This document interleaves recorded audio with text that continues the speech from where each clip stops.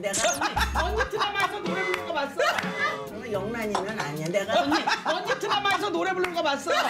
드라마에서 언니, 노래를 드라마에서 언니. 노래를 그리고 나보다 언니가 노래 잘한다고? 언니 가능 여부를 보자. 나는 원수 언니가 나보다 더 못하는.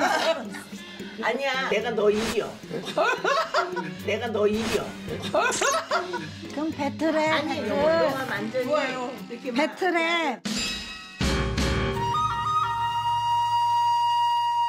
내가 가수라면 네. 가수다 그러면 나 감정으로 하는 걸로 하면은 좀 할 것 같아. 예, 예.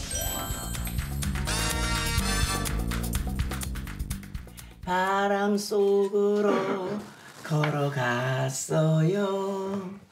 이른 아침에 그쳤지. 이른 아침에 그쳤지. 마- 왜 비웃어? 듣는 거 아니고 열심히 듣고 있는 거예요. 왜 언니 잘하는데? 어, 좋아요, 좋아요. 식은땀 막 흘리면서. 마른 꽃 걸린 창가에 앉아. 눈 감고 하세요 눈 감고 눈 감고 마른 눈을 감고 하시면 안 부끄러워 마셔요. 아름다우지. 네네. 언니 사실 여기. 여기까지 하면 올라가지 않아도 알지. 네네 들을 뭐 알겠어요. 자 이제 언니 이모. 좋다. 영란이. 응, 영란이. 응. 얘가 날 비웃어. 언니는 언니는 노래도 혜연이 언니가 가르쳐주고 그랬거든. 오 노래에? 관심이 많아. 음. 웃음 나와서 그런 거 편하게 해보세요. 해, 편안하게 눈 감고 언니가 안 봐야 돼. 선생님이 그렇게 지그시 보고 있으면 돼.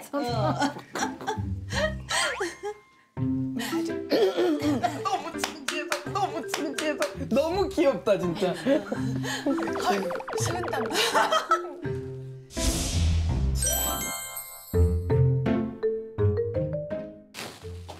마른 나무 가지에서 떨어지는 작은 잎새 하나